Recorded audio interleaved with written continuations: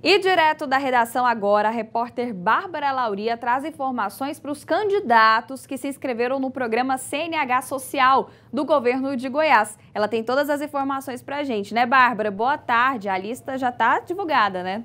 Oi, Liliane, está sim. Boa tarde para você e para todo mundo que acompanha o TJ Goiás.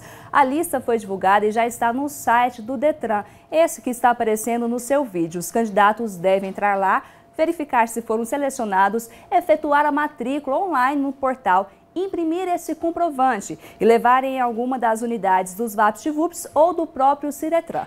Nessa primeira etapa foram selecionados 2.010 candidatos para a CNH Social e eles estarão isentos das taxas do Detran, não vão pagar os exames médico e psicológico, junta médica, quando se tratar de candidato com deficiência e toxicológico, exigido para a categoria profissional, que também contempla a CNH social.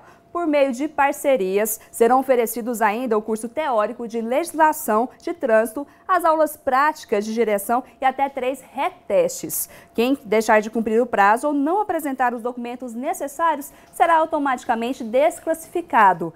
As, caso essas vagas não sejam preenchidas, uma lista de reservas será publicada no dia 27 de fevereiro. Então, uma boa oportunidade para esses 2010 candidatos que conseguiram serem aprovados para fazer a CNH social. Vai poder tirar em diversas categorias, inclusive a profissional, que vai ajudar muita gente. E eu tenho uma outra informação, Liliane. Não fica com saudade que eu estou saindo de férias. Meu último direto da redação, eu volto daqui 15 dias, viu?